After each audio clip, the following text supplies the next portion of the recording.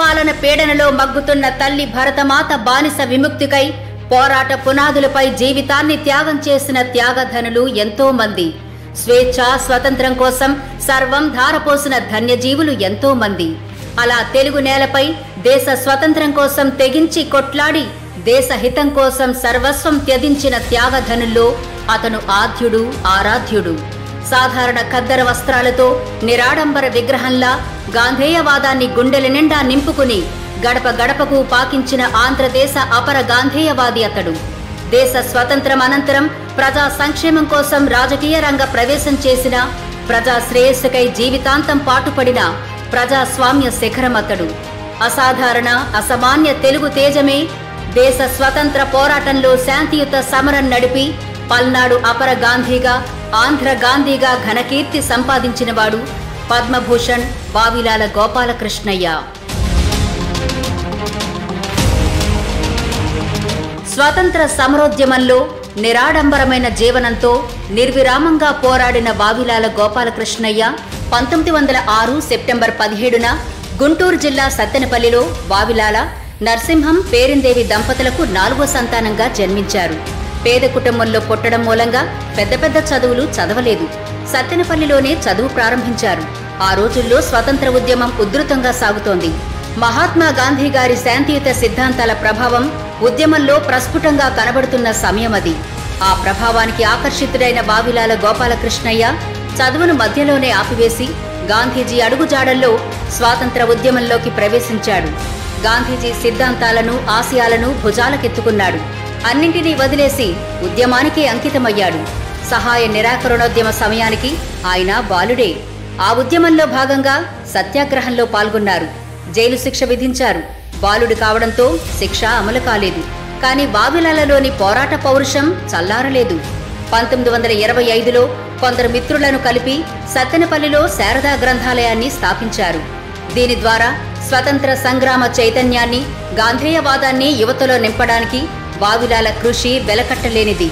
ఉద్యమంలో చురుగ్గా పాల్గొంటూ ఆ సమాచారాన్ని జనాల్లోకి నేరుగా తీసుకెళ్ళడానికి పంతొమ్మిది వందల ఇరవై తొమ్మిదిలో కొంతకాలం ఆంధ్ర పత్రికలో ఉప సంపాదకునిగా పనిచేశారు. పంతొమ్మిది వందల ముప్పైలో ఉప్పు సత్యాగ్రహంలో పాల్గొని తొమ్మిది నెలల పాటు కారాగార శిక్ష అనుభవించారు.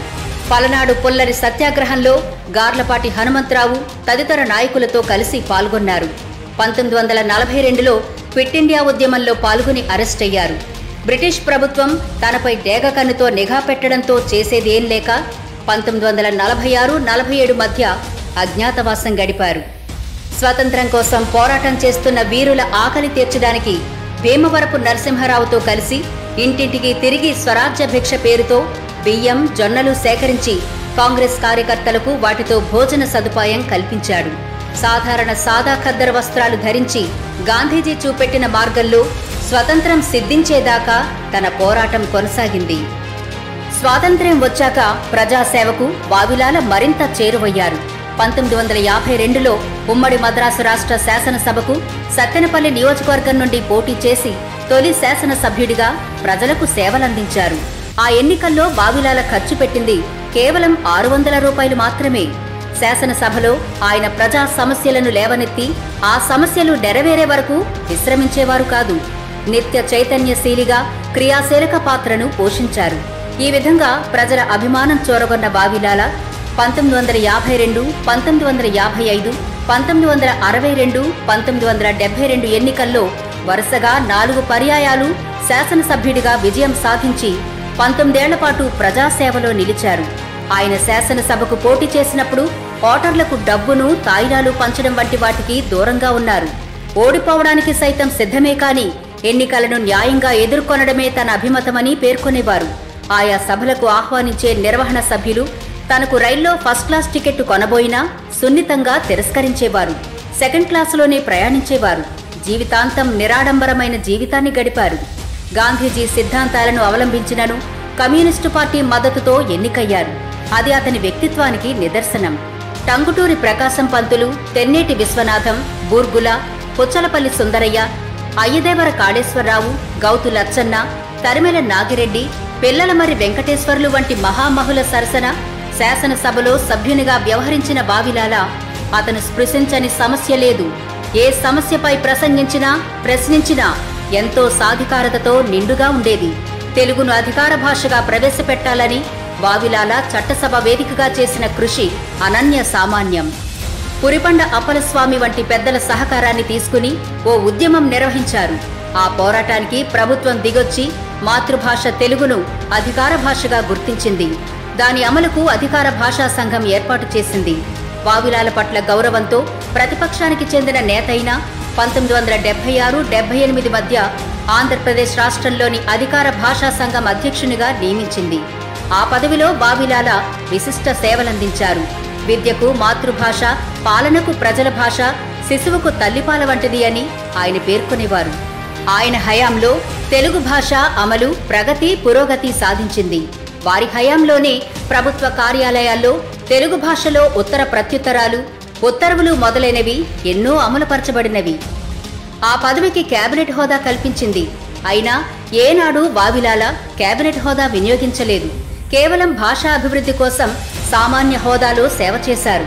గాడిచర్ల హరి సర్వోత్తమరావు వంటి మహనీయులు ప్రారంభించిన గ్రంథాలయోద్యమాన్ని దశాబ్దాల పాటు వెన్నంటి నడిపించారు. గ్రంథాలయ ఉద్యమ సారథిగా ఆంధ్రదేశం మొత్తం కలియదిరిగి ఊరు ఊరికి ఒక విజ్ఞాన భాండాగారాలను ఏర్పాటు చేయించారు.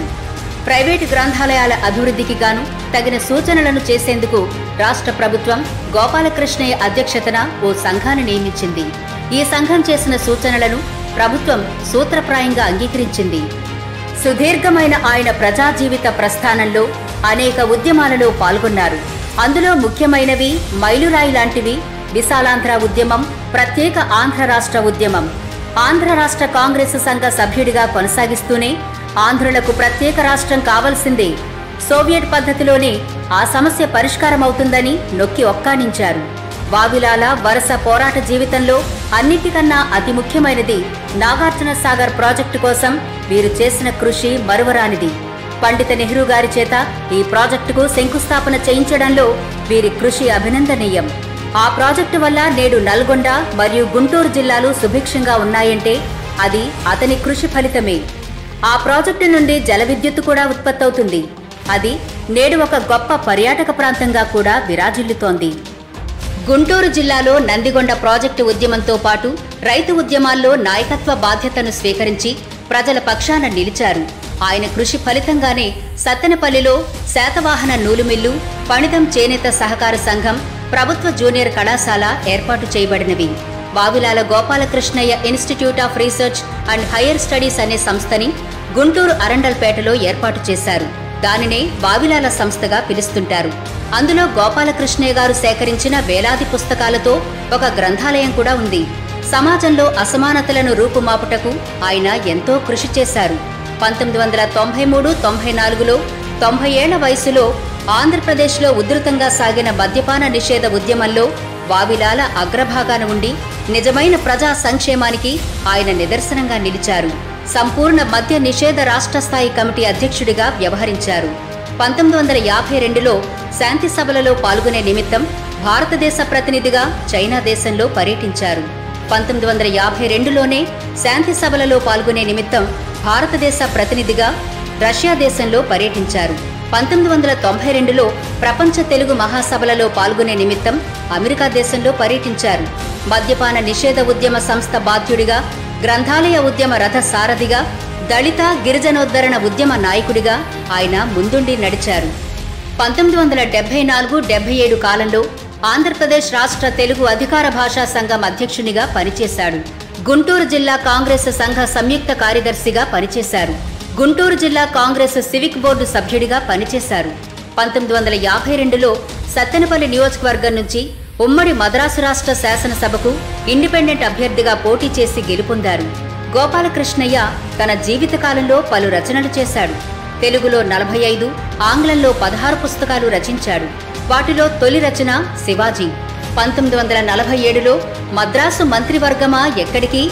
విశాలాంధ్రం ఆంధ్రప్రదేశ్ గ్రంథాలయోద్యమం లాంటి పలు పుస్తకాలు రచించారు. జీవితం మొత్తం దేశ హితం కోసం పరితపించిన వావిలాల చివరి రోజుల్లో అనారోగ్యానికి గురై పక్షవాతంతో గుంటూరు ఆసుపత్రిలో చికిత్స చేయించుకున్నారు. శ్వాసకోశ సంబంధమైన వ్యాధితో రెండు వేల మూడు ఏప్రిల్ ఇరవై తొమ్మిదిన పరమపదించారు. వావిలాల కృషికి త్యాగానికి గాను ఆంధ్ర విశ్వవిద్యాలయం కళాప్రపూరణ బిరుదును ప్రదానం చేసి ఘన సత్కారంతో గౌరవించి తన ప్రత్యేకతను నిలుపుకుంది. ఆంధ్ర గాంధీగా అత్యున్నత శిఖర ఖ్యాతిని గడించిన బావిలాలకు భారత ప్రభుత్వం దేశ మూడవ అత్యున్నత పౌర పురస్కారం పద్మభూషణ్ బిరుదుతో సముచిత రీతిన సత్కరించింది.